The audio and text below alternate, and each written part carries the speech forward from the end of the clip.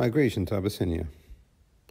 When the number of Muslims increased and the disbelievers began to fear them, the oppression towards the Muslims increased greatly. So the Prophet ﷺ permitted the Muslims to migrate to Abyssinia, and he said, Indeed, there is a king there under whom none is oppressed.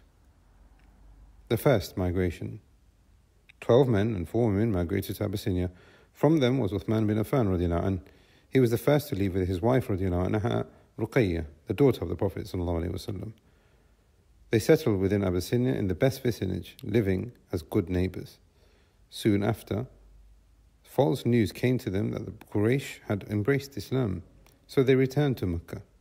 However, when they saw that the situation was much worse than before, some of them had returned to Abyssinia, whilst another group had entered Mecca and received severe harm from the Quraysh.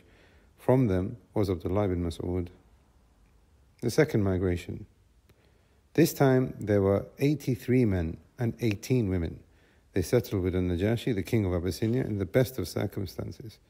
When this reached the Quraysh, they sent Amr ibn As and Abdullah ibn Abi Rabi'ah with a squad to plot against them with Najashi. However, Allah threw their plots back against them, meaning they were unsuccessful.